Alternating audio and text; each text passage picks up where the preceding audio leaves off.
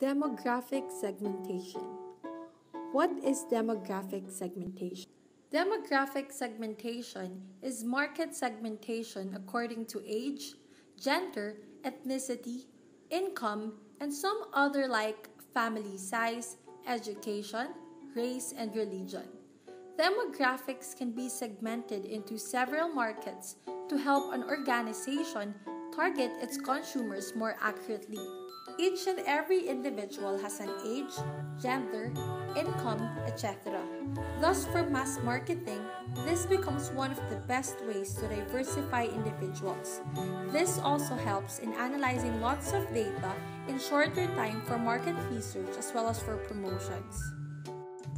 Examples for demographic segmentation Gender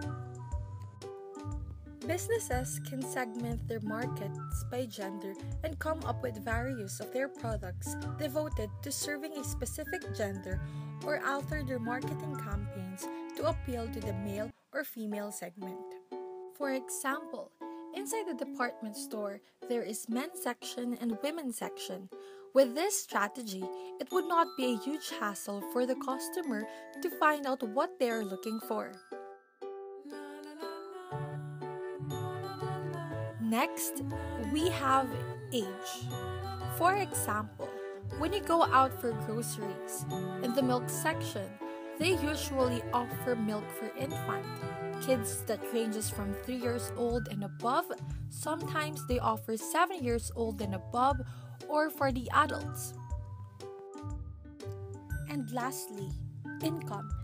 In choosing a car, most people with higher income and still have access for their expenses, owns business and in a high class family level, they will more likely tend to buy luxury cars.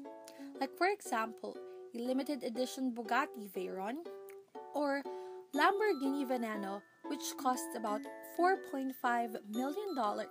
But for some people who have enough savings for their family, adequate income, they more likely buy usual cars like Chevrolet Spark or probably Toyota.